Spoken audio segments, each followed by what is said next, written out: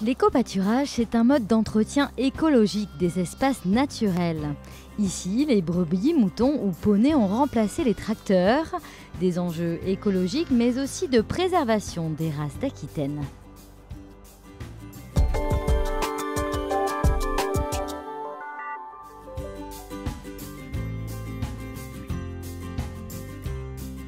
Ici, sur l'écosite du Bourgail, c'est sur 4 hectares que pâture un troupeau d'une centaine de moutons landais, accompagnés de leurs agneaux, nés il y a quelques jours.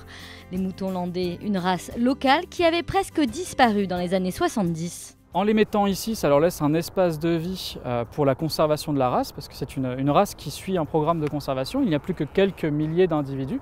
Et le Conservatoire des races d'Aquitaine, justement, travaille à la revalorisation de, ce mouton. On les laisse une bonne partie, euh, une bonne partie de l'année, au moins plusieurs mois. Donc elles vont pâturer jusqu'à euh, réduire drastiquement la végétation. Bordeaux Métropole a, commencé à développer euh, l'éco-pâturage il, y a trois ans avec un objectif de faire évoluer les, du coup, les, gestions des sites dont la métropole est propriétaire et euh, favoriser la biodiversité en limitant du coup les, interventions mécaniques de tracteurs ou de fauches ou de, de tondeuses. À une centaine de mètres à vol d'oiseaux, au parc cimetière, on accueille aussi de l'éco-pâturage sur 4 hectares.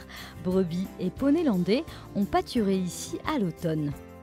L'avantage, c'est qu'on peut les laisser euh, quelques semaines, voire quelques mois, et elles offrent un entretien très régulier. Voilà ce qui reste après un passage de brebis. Vivement le printemps prochain pour, euh, pour à nouveau faire entretenir ces parcelles. L'éco-pâturage, une manière d'appréhender le retour de la nature en ville. Au total, 11 sites en bénéficient sur la métropole et de nouveau pourraient voir le jour.